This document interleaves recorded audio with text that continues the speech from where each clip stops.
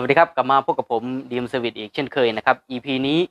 ผมจะมาแนะนำอุปกรณ์ในการหุ้มเบาะนะเผื่อมีท่านใดสนใจที่อยากเปิดร้านซ่อมนะเปิดร้านซ่อม เปิดร้านหุ้มเบาะเริ่มทำเบาะใหม่ๆนะครับ มันควรมีอุปกรณ์หลักๆ พื้นฐานอะไรบ้างนะครับ อันดับแรกผมจะแนะนำเป็นแม็กแม็กลมนะฮะแม็กลมแม็กลมท่านสามารถสั่งซื้อได้นะครับ ไม่ว่าจะเป็นเพจ Facebook หรือ Lazada Shopee ช้อปปี้หรือไอ้ลาซาด้าอะไรก็ได้นะครับ ทางออนไลน์นะสสามารถสั่งซื้อได้เลย หรือจะซื้อพวกอุปกรณ์ที่ร้านอุปกรณ์ก่อสร้างก็ได้นะครับ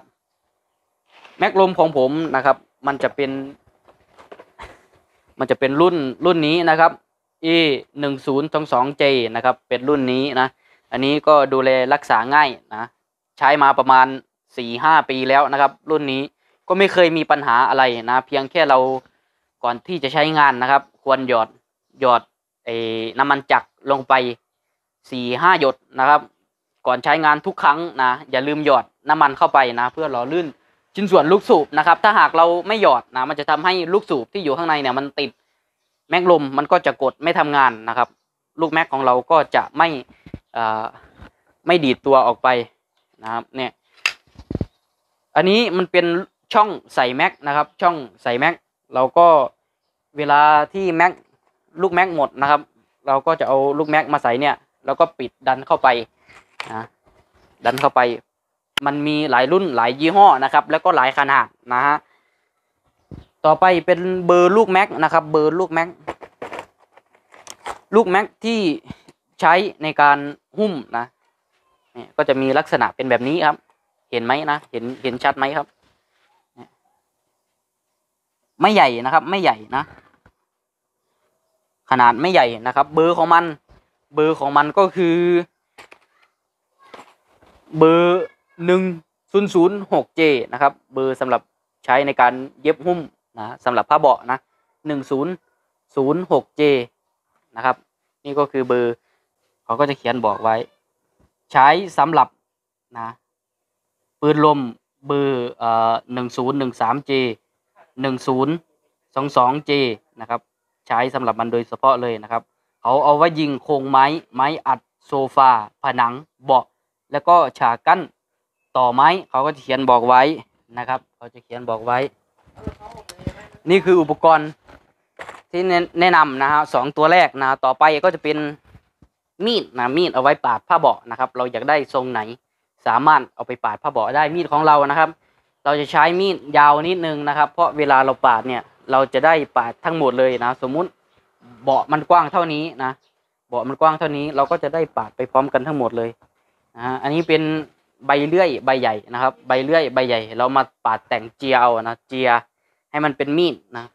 เจียให้มันคมๆนะครับ ก่อนที่จะทำการปาดผ้าเบาะทุกครั้ง เราต้องเจียนะฮะให้มันคม เวลาเราปาดมันจะได้ปาดลื่นๆนะปาดง่ายด้วยนะฮะ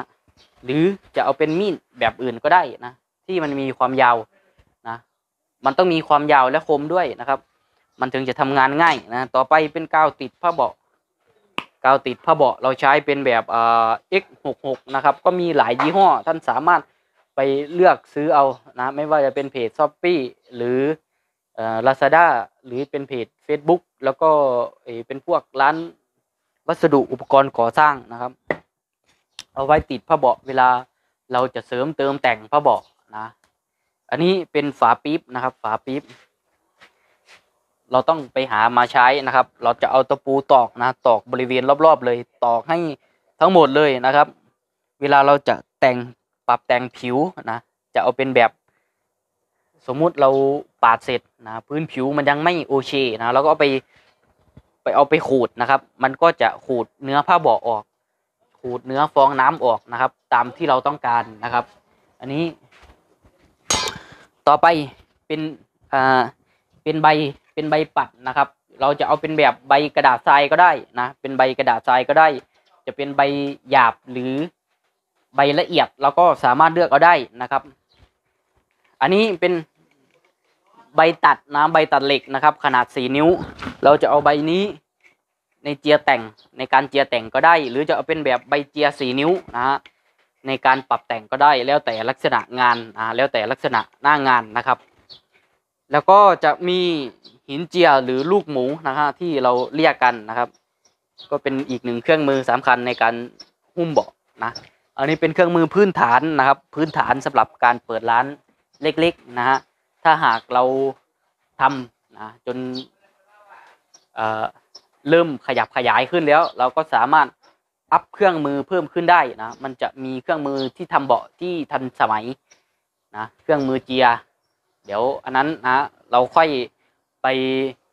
อัปเดตเพิ่มเติมทีหลังนะครับ วันนี้เราเอาพื้นฐานซะก่อน ต่อไปเป็นค้อนนะฮะไม่ว่าจะเป็นค้อนเล็ก ไม่ว่าจะเป็นค้อนเล็กหรือค้อนใหญ่นะครับค้อนเล็กหรือค้อนใหญ่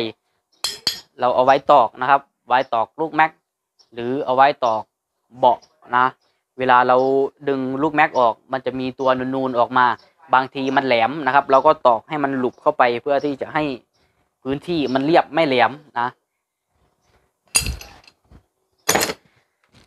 ต่อไปนะครับเป็นไขควงหรือเราจะหาเป็นเหล็กแหลมอะไรก็ได้นะครับ ใช้ในการงัด ใช้ในการงัดลูกแม็กออกก่อนที่เราจะ ลี่ยนผ้าเบาะตัวใหม่ออกไปนะฮะเนี่ยเป็นไขควงแหลมนะครับ ไขควงเกียร์แหลมๆยิ่งดีนะครับ มันจะได้งัดออกง่าย อันนี้เป็นชีมเอาไว้ใช้เวลาหนีบลูกแม็กออก หนีบลูกแม็กออกเราจะใช้ชีมตัวนี้ฮะ